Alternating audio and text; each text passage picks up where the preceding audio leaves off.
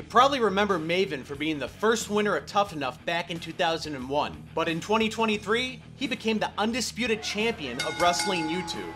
In this video, we're going to dive into how Maven used completely organic YouTube SEO practices to grow its channel to over 100,000 subscribers in only 4 months, only to still commit one of the biggest mistakes that nearly all aspiring YouTube creators also commit. This is Kirk Collins. Welcome to Video SEO Club. So when you go to the channel homepage for Maven Huffman on YouTube, you'll see here that uh, he has a trailer, which is about four months old. Not bad, 1.6 million views on that. But then you look and there's no playlist listed here, which is kind of weird. We see shorts. Now you need to understand something from a YouTube SEO standpoint. Most people that will land on your YouTube channel page will come from your shorts.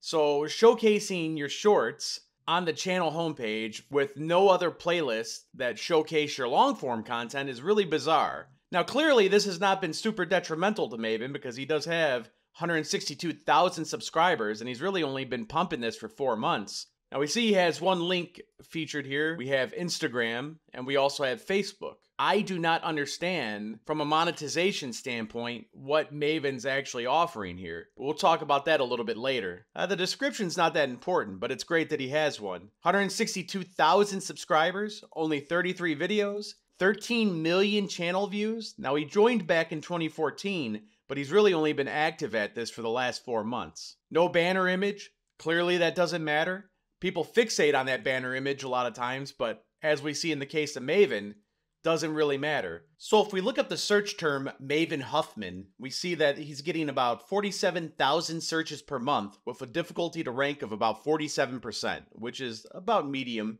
Now, just like anyone would probably suspect, Maven's ranking number one for Maven Huffman. It is his full name, it's the name of his YouTube channel, makes sense. Now, as you scroll through the search results here for Maven Huffman, you see that he's ranking. It's, it's his channel everywhere. You even see his community tab featured right there. You don't see really anything else from any other channels until you scroll way down here. WWE posted this video 11 years ago of Maven in the Royal Rumble. Uh, but yeah, other than that, it's it's all Maven's content. So he's doing some really good branded SEO here, basically protecting his name. So he's doing great. Now, Maven was not known as Maven Huffman when he wrestled in WWE, so most people are probably typing Maven in when they're searching for him.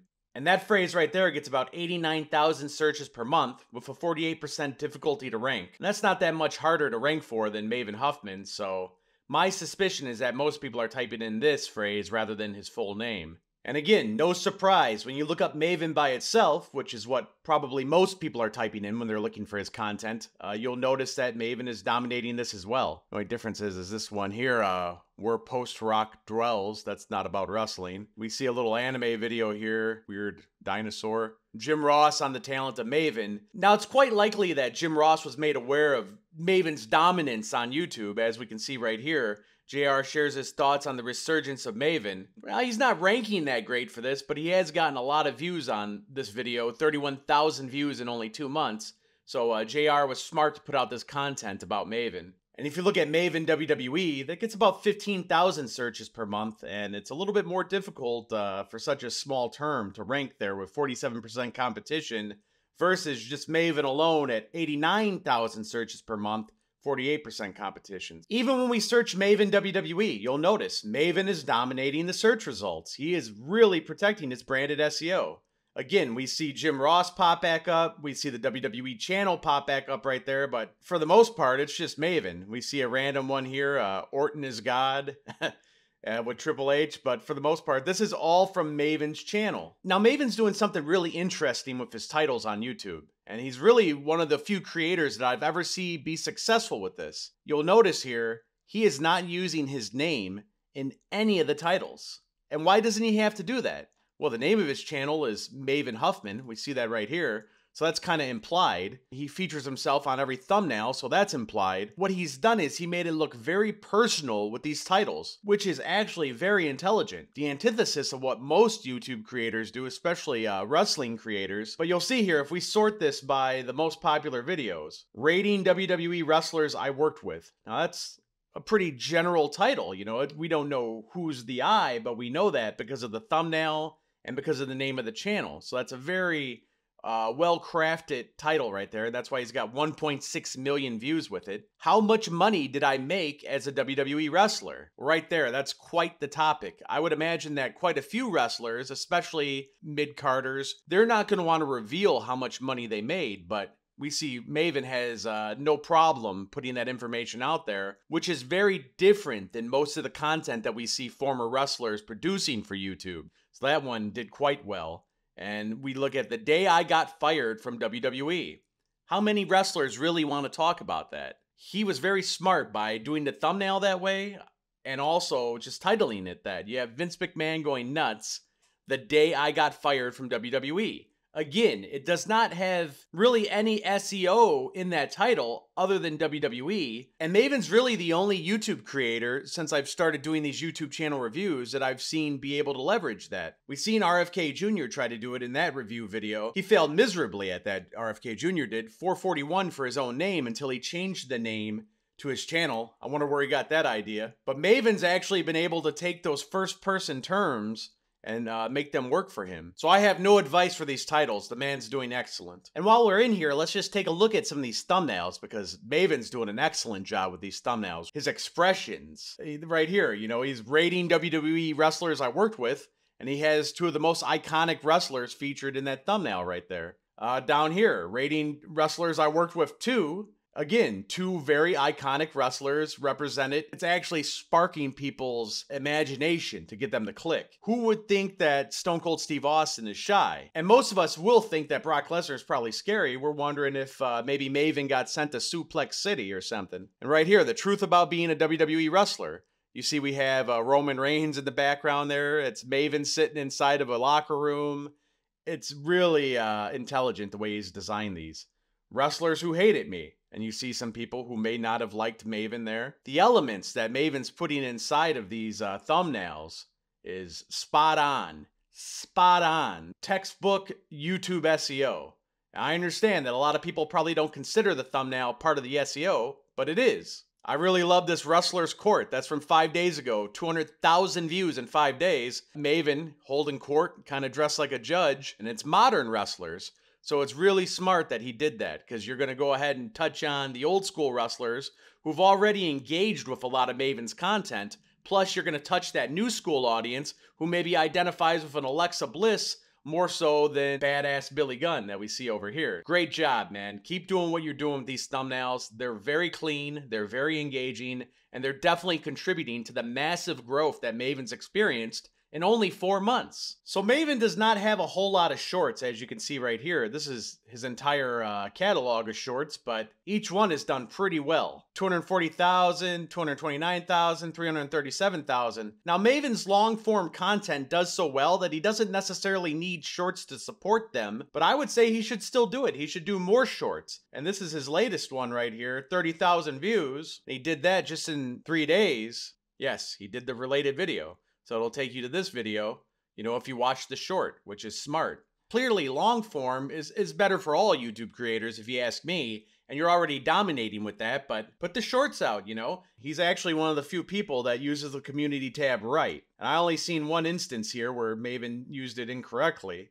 But let's go down, you know, three months ago, just sharing some photos here, and he's getting the engagement. You can see the engagement he's getting. 3.4 thousand likes, 183 comments. And I'm going to show you the one mistake that he made on the community tab is this right here. You never share a video to your community tab. You might wonder why. Well, let's take a look. He shares a video, 23 comments, 437 thumbs up.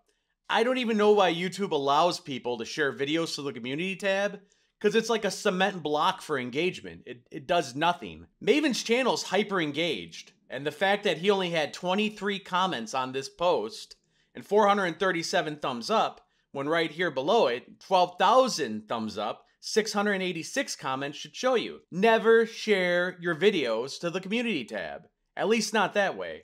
This is how you should be sharing your videos to the community tab. Maven shared one of Booker T's videos here, I bet you Booker T got a lot of traction off this. And that's from three weeks ago. He shared an image and he put the link. I would have put the link right here above all this text because the link's the most important thing. You gotta understand when you're trying to get people to click things, whether it be on YouTube, a website, social media, you gotta put that link first and foremost above everything else. Don't worry about any of this. Yeah, people might read it. You want that link at the top. 4,000 thumbs up, 146 comments, simply because he shared an image and a link rather than sharing a video and a link, which is Clearly, not the way to do it on a community tab. I'm seeing one of the few ways that Maven's actually monetize this channel outside of YouTube ads is by promoting this Major Bendy's uh, action figure. It's a little unclear to me how he's monetizing this channel outside of the YouTube uh, partnership program, and it actually sent me on a LinkedIn deep dive that we'll touch on a little bit later at the end of this video. But all in all, Maven's doing excellent on the community tab. So one of the places where countless creators on YouTube fall short is in the comments section. Now let's see if Maven's following that toxic trend. Let's take a look at his most popular video. 3,500 comments, almost 3,600 comments on this video. Let's sort this by newest first. So he's, he's getting comments 23 minutes ago. He got comments on this. But let's sort by top comments and see if Maven actually replied to any of these. No Maven on this one on the top comment. And another thing that's uh, missing from this is where's the pinned comment? Man's trying to sell those major Bendy's action figures. We should see a pinned comment right here. But you know, maybe Maven didn't do that four months ago, but maybe he's doing it now. So let's sort by latest and uh, kind of check out this one from two weeks ago and let's see what he's doing in the comments here. He's got 1,200 comments and look at that, front and center, five replies. Thank you for the compliment, means so much. Good on you, Maven. You're engaging your audience. You're doing what most YouTube creators are just not smart enough to do. Scroll down here, nine replies. There's Maven. Again, showing love to his audience, man. Doing a great job with it, too. I would implore Maven to go back to that old video there from four months ago, which is doing still well. I mean, it got a comment 23 minutes ago. Jump in there and do the pinned comment. Right here, I'll show you how to do it, Maven. Boom, right there. That's all you got to do. You're going to sell a lot more of those major bendies that way and maybe some other offers that you might think about doing in the future. So now we'll look at how often Maven's gone live on YouTube. At least he's gone live. It's only been three times, but each time it's been pretty successful for him. We see two months ago he got 46,000 views. We see a month ago he got 57,000 views. And we see 14 hours ago he got 31,000 views. So it seems like this is a monthly thing for Maven. Now let's jump into this most recent live stream and uh, see what he did in the chat. So if we go in and take a look at the top chat reply, uh, let's see if Maven uh, has some people jump in chat. Now, it's not as important for Maven to actually jump in this chat because he's literally referencing the questions that are being asked during his live stream. That's the whole point of this. So he's monitoring it verbally by looking at it. So we don't see him really jumping in here saying anything in the YouTube chat, but it's actually a direct ask me anything type situation where he's engaging his audience, which is even better than jumping in and having somebody monitor your chat room. One big missed opportunity that Maven did not do, from what I could see, he did not share that link to the major bendies here. I mean, come on, it could have been right there, Maven. You could have been selling more action figures right there in your chat. Maybe Maven isn't looking to make money with this YouTube channel, which I'm speculating based on my findings through a LinkedIn deep dive that we'll touch on at the end of this video but I still see it as a missed opportunity. I mean, you're doing great with YouTube. You got 31,000 views on this. That's engaged views. You got 187 comments on this in 14 hours. Come on, man. Pinned comment. Let's get it there. Now, through the power of vidIQ, we'll take a look at the stats on Maven's channel. Let's see how he's done in the last month. So in the last month, Maven's a little bit down, 17%. That's not bad though, because he was able to achieve 2 million views. So yeah, he's down 17%, but 2 million views. He put out eight videos in that time frame, and he uh, gained 13,000 more subscribers. I'll say the last three months, because Maven's only been really active on YouTube for the last four months. So let's see uh, what his trajectory looked like. 8 million views in the last three months, 86,000 subscribers in the last three months, 22 videos published in that time period. Last seven days, Maven got 353,000 views, 2,000 new subscribers, and five videos published. Maven's doing great, which kind of made me a little bit suspicious. Because I don't see how he's monetizing this other than this uh, wrestling figure that was only available until November 17th. I know I kept saying, post this link, Maven, get it out there, because really it's the only thing that he's ever offered. The figure is no longer for sale. But other than this wrestling figure, I really did not know what Maven was monetizing this channel with. I, there's no pinned comments. He's making ad revenue, I'm sure. Clearly, he's getting half a million views in, in a week, so he's he's making some money off of that for sure. But it's just baffling to me that he's not selling T-shirts. He's not even linking Cameo here. Even when you check out his Instagram, which he does link on his YouTube page, it, it's really uh, just content. I don't see any links to anything. He, he doesn't even have his YouTube channel linked correctly here, but that's fine because I mean he's he's getting engagement here on uh, Instagram as well. He's got 17,000 followers. Baffling to me as a YouTube marketer that he's not trying to, to push maybe a cameo.